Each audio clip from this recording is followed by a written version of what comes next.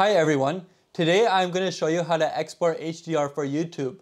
Feel free to jump to the 2 minute mark if you want to see the step-by-step -step process using the video editing software DaVinci Resolve.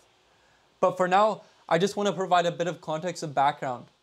By the way, my workflow is going to be limited to this cheap standard dynamic range monitor, so don't worry if you're under the impression that this process requires a high-end HDR monitor, Blackmagic microconverter, or anything like that.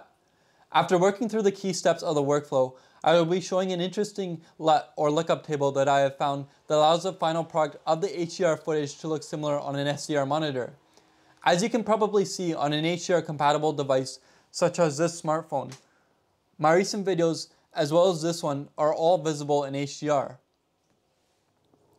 Just to give a quick background as to what HDR actually means, high dynamic range is the next generation of reproducing what the human eye is capable of seeing in reference to colors and contrast between the brightest and darkest, referred to as stops of light. Every stop is essentially doubling the brightness.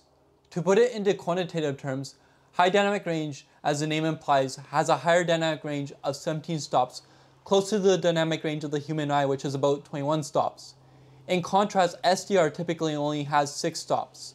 There is no question we have come a long way in camera technology over the past decade, and I'm excited to share the substantial improvements HDR has over SDR, especially with footage shows taken from state-of-the-art cameras such as the Sony a7S III. Please note, I will not be explaining any details pertaining to the color grading and context of the sample footage. As this title indicates, this video is only intended to configure a project to ensure the rendered video can be displayed in HDR on YouTube, and as a result allow its full potential. Looking at this timeline, we can see footage taken from the Sony a7S III using the hybrid log gamma profile in 10-bit color can be processed and exported to be viewable in HDR on YouTube. It is a relatively simple clip shot at a beach in Tofino, British Columbia, and basic corrections were done for exposure, saturation, and noise. Looking closely, we can see each of these nodes have HDR mode enabled. This setting adapts that node's control to work within an expanded HDR range. Practically speaking, this makes it easier to work with wide latitude signals using controls that operate by letting you make adjustments at different tonal ranges, such as lift, gamma, gain, custom curves, and so on. Anyway, for now, I will open DaVinci Resolve Preferences, and under the General category, if I am using a 10-bit color monitor, Use 10-bit precision in viewers if available should be checked. This will allow much smoother gradients in the colors while grading, though I am keeping mine unchecked to avoid artifacts since I am using a cheap 8-bit color monitor. Next under project settings, I'm going to navigate to the master settings.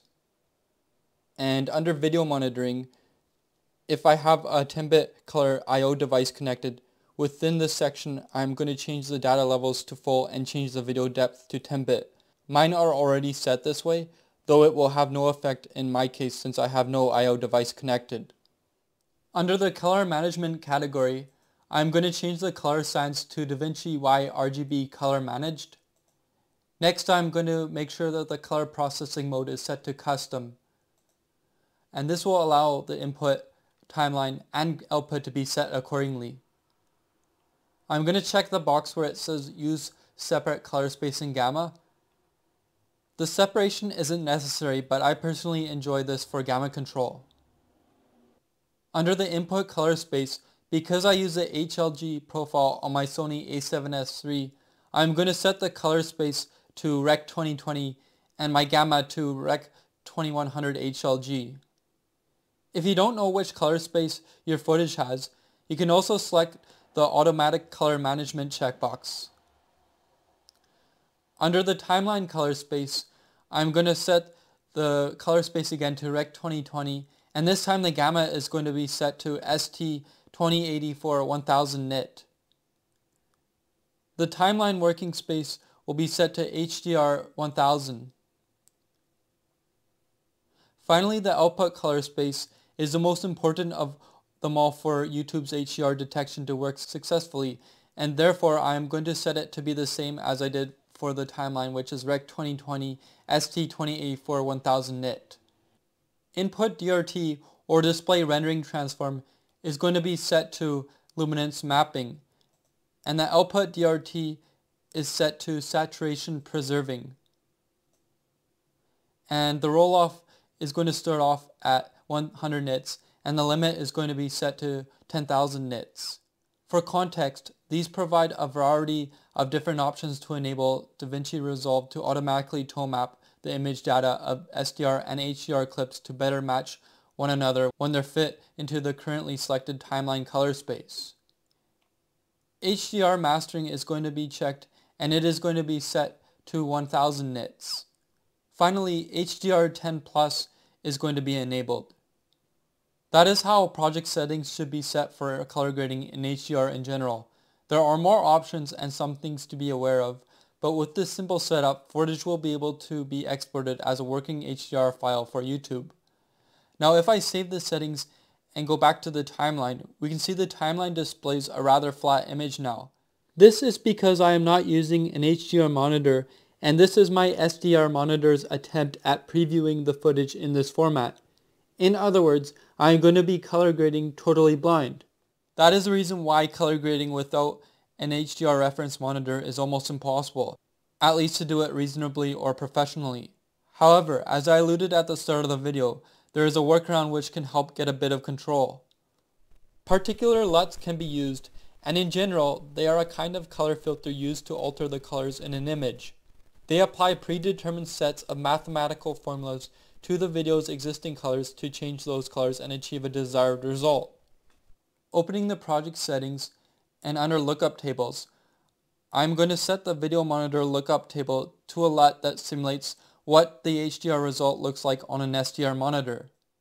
There are a variety of LUTs available to give an approximation, though I find the custom LUT created by Wesley Knapp to be the most accurate. I will leave in the description of this video a link where the LUT can be downloaded. That being said, I still recommend viewing a draft of the video on YouTube on a proper HDR device and learning how HDR behaves, especially when starting out. While the LUT used in the workflow does a good job of simulating how things will look once in HDR, some details such as highlight roll-off are much more defined in HDR than can be simulated. The final step will be at the Delivery tab. The format is set to QuickTime. Codec is H.265 and the export and embed options for HDR10 metadata are checked. Because my footage is shot in 10-bit color, I have set the encoding profile to main 44410. The rest of the settings can be set as pertaining to the project requirements. YouTube has listed HDR video requirements on their help page. Just looking at the details of the exported file using an app such as MediaInfo, we can see when I drag and drop it here, the details are shown for the color space. It is set to BT 2020, which is synonymous to Rec 2020, and that is the color space that YouTube requires for HDR. Again, I highly recommend uploading even draft versions of your project to get a feel as to how the completed video looks in HDR on a compatible device. One last thing I want to mention is that by default, YouTube will automatically embed their own LUT into the upload to allow viewers to see an accurate representation of the video in SDR. Often this default LUT is mediocre at best as it can yield a variety of strange color shades, especially in the green hue range, and I recommend injecting a custom LUT instead into the metadata of the completed file. Same principle as the video monitor LUT that I am currently using within DaVinci Resolve. So again, I am going to use this custom Wesley Knapp LUT as metadata in my file and inject it into the file. So now the YouTube video, when shown on an SDR monitor, will show the same effect as what this LUT is using as my video monitor LUT right here on this timeline display. A link for this injector is available in the description of this video. However, in the meantime, here's a quick demonstration of the HDR metadata tool being used.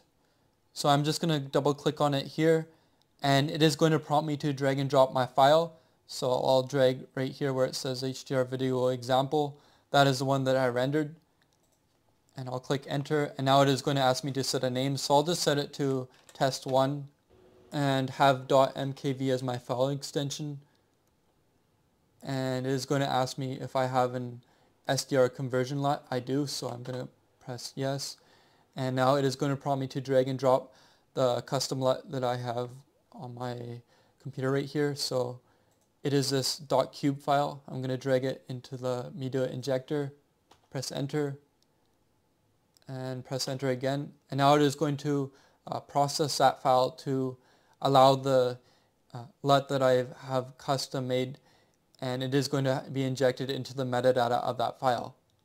And so when YouTube detects this file, it is, instead of using the default YouTube LUT that I mentioned is mediocre at best, is going to use the same LUT again as this timeline right here. And that will be shown on SDR monitors for the YouTube video that is being broadcasted through the internet. Okay, so now we are done. If these steps are followed correctly, the uploaded video will look consistent in HDR and SDR. Although obviously the HDR version will look much nicer.